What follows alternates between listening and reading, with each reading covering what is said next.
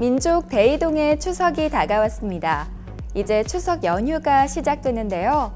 오늘은 미리 알아두시면 좋을 추석 꿀팁들도 준비했으니까요. 끝까지 시청해 주시기 바랍니다. 그럼 마이앤뉴스 시작하겠습니다. 남양주시는 다가오는 추석을 맞아 미문 방문을 실시했는데요.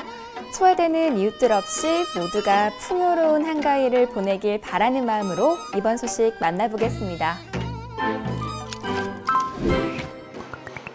남양주시는 추석을 맞아 따뜻한 정을 나누기 위해 한국장애인 부모회 남양주시 지부에서 운영하는 장애인 직업 재활시설 다움터를 방문했습니다. 박신환 남양주시 부시장은 현장을 찾아 시설 종사자들을 격려하고 농협 상품권을 전달했는데요. 노인 주거복지시설인 아가페 실비양로 시설을 방문하여 노인시설 생활자를 위로하고 위문품을 전달했습니다. 사회복지 현장에서 이웃사랑을 실천하는 시설 관계자분들의 노고에 박수를 보내며 앞으로도 남양주시는 소외받는 이가 없는 건강한 지역사회를 만들어 나가는데 최선을 다하겠습니다. 매년 9월 7일은 무슨 날일까요? 바로 사회복지의 날인데요. 남양주에서 이런 뜻깊은 날에 가만히 있을 순 없겠죠? 제20회 사회복지의 달을 맞아 남양주에서 열린 기념식 현장 함께 가보시죠. 남양주시는 매년 9월 7일로 지정된 제20회 사회복지의 날을 맞아 사회적 약자를 위해 복지 현장에서 애써온 분들의 노고를 치하하고 격려하는 시간을 마련했습니다.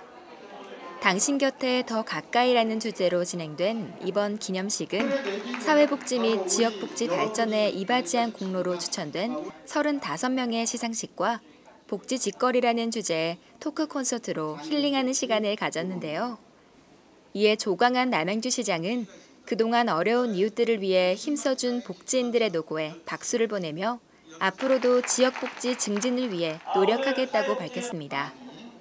이번 행사가 사회복지 분야 종사자들에게 힘이 되고 지역복지 분야 발전을 위한 도약의 장이 되었길 기대합니다.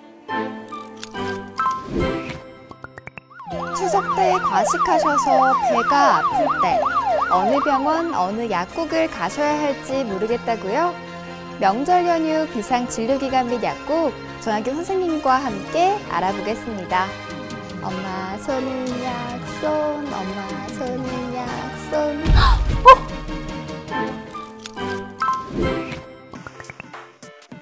안내 전화를 이용하세요.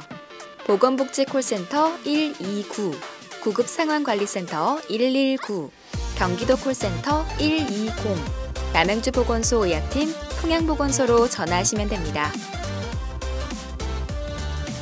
홈페이지를 참조하세요. 중앙응급의료센터 홈페이지와 남양주시 홈페이지에서 확인하실 수 있습니다.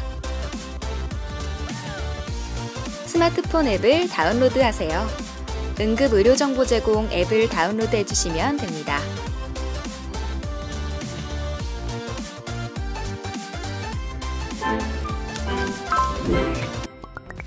다가오는 행사를 한 발 빠르게 소개해드립니다. 9.19 남북평양공동선언 벅찬감동 1년을 기념하고자 야심차게 준비했습니다. 북한의 노래로 만든 뮤지컬 콘서트 감동의 순간으로 여러분을 초대합니다. 가을만큼 풍성한 축제 준비 완료! 2019년 제8회 왕숙천 문화제가 열립니다. 올해 축제 컬러는 blue, blue 계열 티셔츠 착용 시 야광 팔찌를 드립니다. 치매 극복의 날을 맞아 치매 인식 개선 연극에 무료로 초대합니다. 사전 등록 신청자 선착순 300명에게 참가 기념품을 드리니 지금 바로 신청해 보세요. 오늘은 추석을 맞아 한복을 입고 인사드렸는데요. 가족들과 즐거운 추석 연휴 보내시면서 넉넉해진 마음으로 뭐한다? 좋아요와 구독을 누른다. 좋아요와 구독 많이 많이 눌러주세요.